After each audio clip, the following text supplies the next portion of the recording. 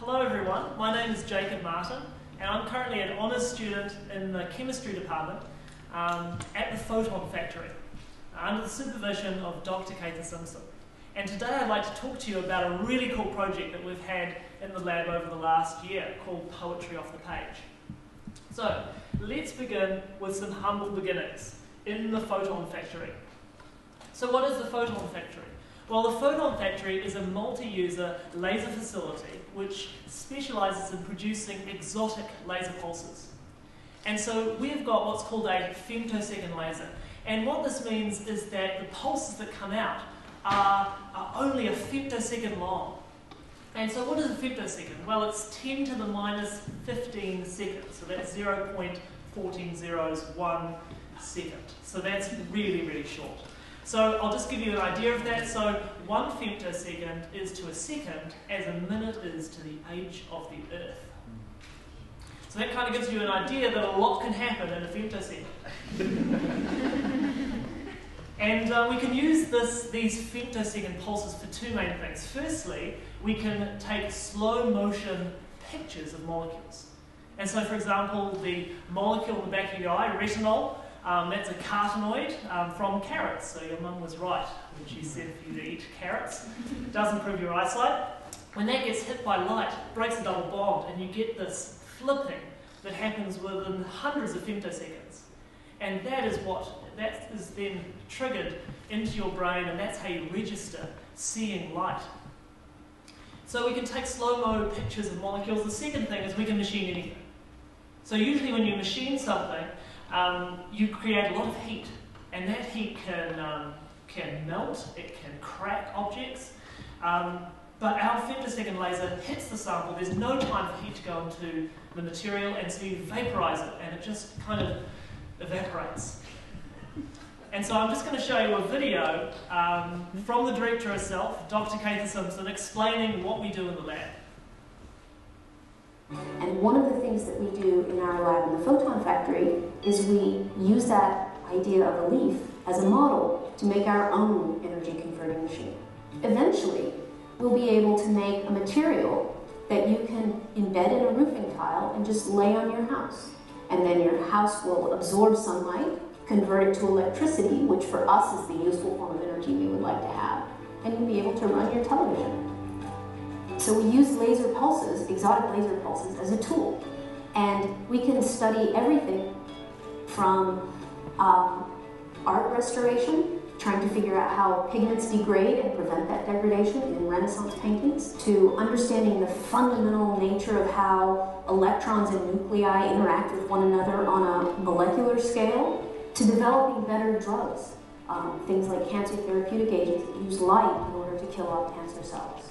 We also use that light to do engineering type things on tiny scales. So scales that are, um, length scales that are smaller than the width of a human hair. So we can use our lasers to drill features into materials or make little architectures of things, little molecular scale machines, um, and start probing things on the nanoscale.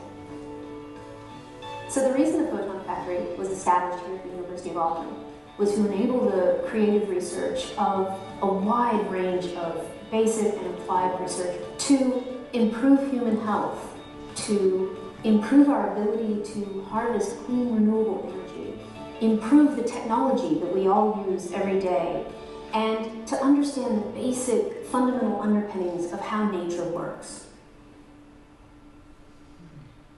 So yeah, said much better than I could ever say it. So, so then how does poetry come into this? Well, Cather's got a, a knack of, of, of saying that we can machine anything. And so she was talking with, um, with Michele Leggott and Helen Sword, and they run a, a, a, class in the English department called Poetry Off the Page. And they're trying to get poetry into new mediums which people aren't used to, so that people can engage with, them, with, with the poetry in ways they never have before. And so when they heard that we could machine anything, um, they came knocking at the door to see if they could test our clay. and so we fired the laser. Um, we had um, 10 groups that came through our lab from the Poetry Off the Page class, 2012, and, um, and they chose uh, they chose an object from a stanza of Ian Wedde's Shadow Stands Up poem uh, that related to that stanza, and then they micro machined that. So I've just got a video um, when they came in last September uh, showing them what they up to.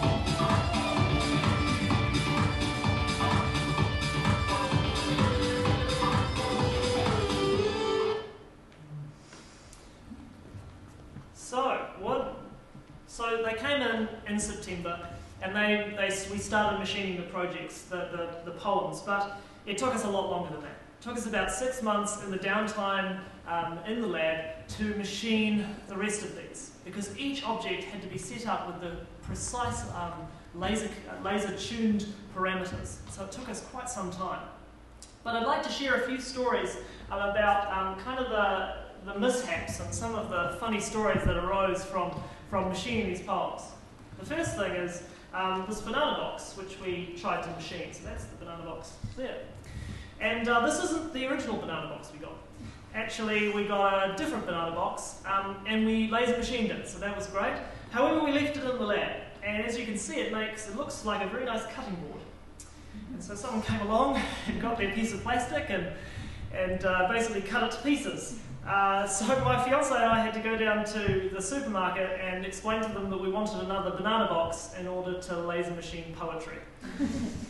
we got some pretty blank looks until we said that it was an art project, and then they all kind of seemed to understand.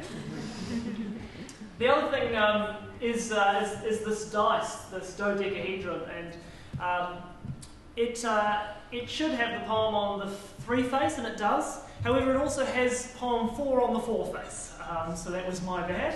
uh, that had to be corrected. Um, but we did show that we could machine every object. So we can machine everything uh, up to date. so I'd like to show some, some really cool, some of my favourite objects that we machined. So this key here has the smallest poem on it. And so it's just in there, and you can't even see it with your eye. Um, and it is about uh, 600 microns across about six hairs. That's how big the entire poem is. So that is um, by far our smallest poem. Um, the other thing is that we were able to machine glass. So this here is a little stand of something, I'm not sure what, but we were able to machine in that without cracking it or doing any thermal damage. And this is actually what we've received a large grant to do in order to machine dielectrics for the semiconductor industry in order to basically design sensors and, um, and chemical sensor technology.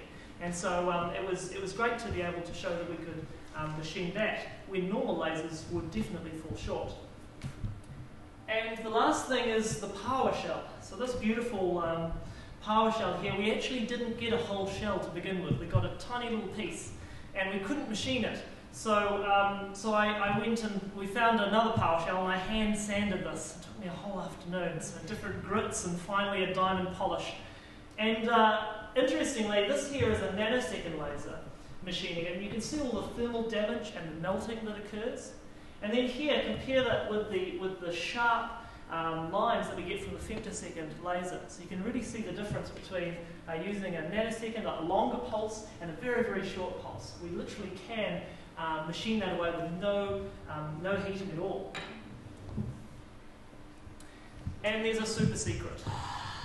So as I was doing this, I was also preparing a secret. So I'll let you discover what that is.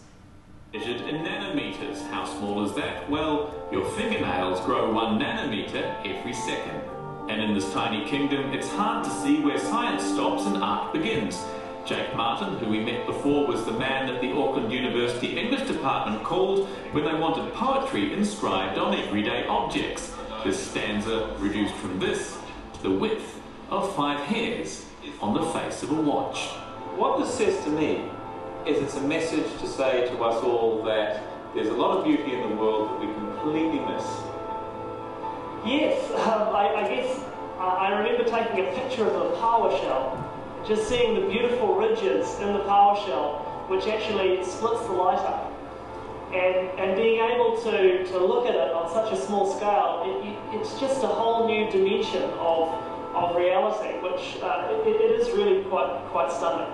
It takes poetry to places where poetry doesn't usually go, and that's just exciting because poetry is almost everywhere around us. But to take it into this different kind of space makes us think differently about the meaning of it. During his hours of writing microscopic poetry with the university's million dollar laser, that he also wrote a message on a ring in letters the width of a grain of sand. Well, it sealed the deal. It's not the whole reason she said yes. It's not a whole package, I'd say. yeah, that's one of the things because um, you'll be surprised though. He's got wonderful attention to detail, but the memory is just not there. it's like love. You can't see it, but it's there.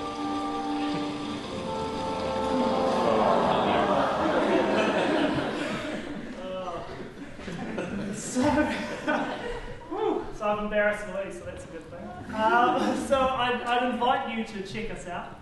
Uh, firstly, there's the website, Poetry Off the Page. Um, you can have a look, and we've got a zooming interface, so you can have a look at each poem and read um, all of the different um, stanzas. We've also got a library display where we've actually got a USB microscope, so you can actually hold it over the object and see the different poems. Um, and email us if you have a challenge. So if you think of an object that can be machined, that currently can't be, um, some object, then, then go wild. So I'd, I'd like to thank all the people that helped out. Um, Fraser McMillan was, was really great at helping out with the machining side of things. Dr. Cather Simpson for obviously allowing us to, to do this. Helen Sword and Michele Leggott for uh, inviting us to, to, to be involved with their Poetry Off the Page class. Uh, Ian Wedde for, for providing the, the, the, poem and allowing it to be um, circulated. Uh, Brian Donovan for the photo and, um, and also uh, and um, all the students from Poetry Off the Page 2012. And thank you very much for listening.